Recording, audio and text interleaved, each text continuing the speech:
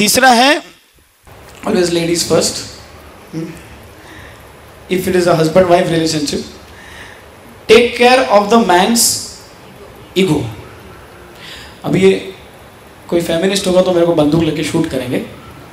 लेकिन ये इसका मतलब समझो एग्जैक्टली क्या है। मतलब man seeks the support of his ego in the women that's all मतलब उसके फ्रेंड्स कितना भी उसको ह्यूमिलेट करे, उसको कुछ फ़र्क नहीं पड़ता है। सब बोलते हैं ना तुम्हारे फ्रेंड्स को वो ए ये चल चुप पागल अक्कल है तेरे को कुछ नहीं पता उसको यूजलेस है एक नंबर का तो you will just take it in your stride doesn't matter but if your wife says that और गर्लफ्रेंड सेज दैट काय काम आता नाही then it becomes very difficult to take so the man seeks the support of his ego in the wife so that is why the wife has to take care of him and for the men to take care of the woman's feelings, emotions.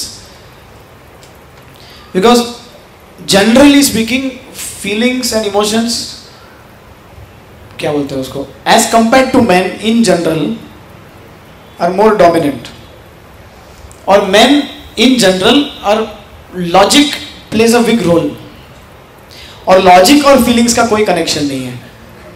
ये गड़बड़ हो जाता है। है कि नहीं? Horror movie देख रहे हो?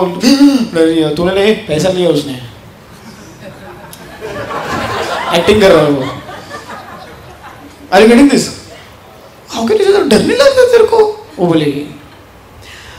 For example a woman is upset dangerous situation woman is upset and then she will expect you to know why she is upset without she telling you why she is upset अभी तुम ध्यान ध्यान कर रहे हो तो फिर भी मुश्किल है ना विदाउट क्या हुआ है देखने को। और तो शुरुआत होती है माइनस फिफ्टी पॉइंट से तुमको। कुछ पता ही नहीं चलता।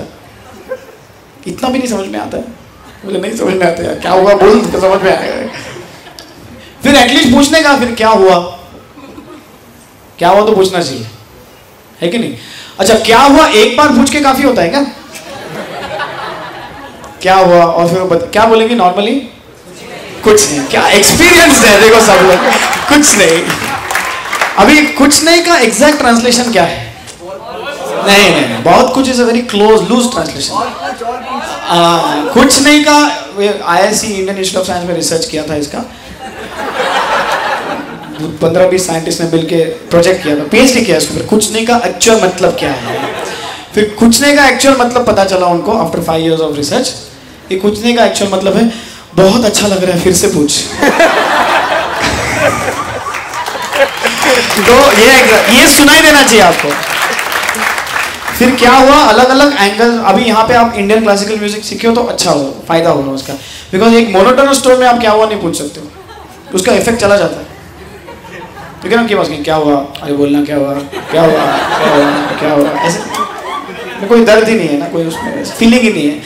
तो क्लासिकल म्यूज़िक सीखे हो तो अलग अलग स्केल्स में सी शार्प डी माइनर क्या हुआ? बोलना क्या हुआ? क्या हुआ? अरे क्या हुआ? ऐसे। तो और एक रिसर्च किया उन्होंने हमारे रिक्वेस्ट के ऊपर कि कितने बार क्या हुआ पूछना पड़ेगा। ऑन एन एवरेज हाँ सो एशियन कंट्रीज़ में का था ये रिसर्च तो ऐसा नंबर है कि 43 टाइम्स क्या हुआ पूछना पड़ता है। फिर 43 टाइम आंसर मिलता है। अभी ये 43 टाइम्स का जो जर्नी है, इसके लिए साधना बहुत ज़रूरी है। हाँ प्राणायाम करो, ध्यान करो। बिकॉज़ फोर्टी थ्री टिकना चाहिए। अभी लड़के लॉजिकल होते हैं ना। तो दो तीन बार पूछते क्या हुआ, कुछ नहीं, कुछ तो वो लॉजिकली नहीं सुनने का अच्छा कुछ नहीं, चल खाना खाते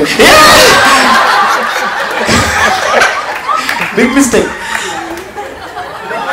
और बीच में गुस्सा नहीं आगे चलेगा, इसलिए ध्यान ज़रूरी है। Twenty third twenty fourth time another research का सब पॉइंट है अ मैन गेट्स एंग्री और twenty fourth time he will अरे बोलना क्या हुआ? ऐसा करेगा। फिर तुमने जितना भी मेहनत किया, सब पानी फेर दिया उसके तो फोर्टी थ्री टाइम्स तक बोलना क्या हुआ? अरे क्या हुआ? बोलना। अरे बोलना क्या हुआ? ये करते रहना चाहिए। Forty third time she will tell you the answer this is the most important thing सुन रहे हैं ना sir she will tell you the answer do not listen to the answer logically because men have a wicked sense of humor they can find it extremely funny and by chance if you cannot control your laughter after she tells you the reason with lot of pain inside वो बोलते पता है क्या ऐसा अगर तुम हंसोगे तो फिर भागो और पीछे मुड़ के देखोगे मत and look for another new girlfriend तुमको वो फीलिंग्स से सुनना। अरे गेटिंग दिस नहीं, समझ में नहीं आ रहे तुम लोग गए काम से। क्या मतलब? नहीं। सो लॉजिक और फीलिंग्स का कोई कनेक्शन नहीं है। So you take care of the women's feelings don't talk anything negative about her best friend एक बेस्ट फ्रेंड होता है। And brother sister mother father she may just give गलीज to them यार, मेरा भाई ना अंकल ही नहीं है उसको। तुम बोलोगे यार मैंने देख के बोलोगे क्या? She can say you don't agree don't disagree what you should do you can take good J bridge when that is happening but you have to take care of the women's feelings and women if you just being smart and practical and women has to take care of the man's ego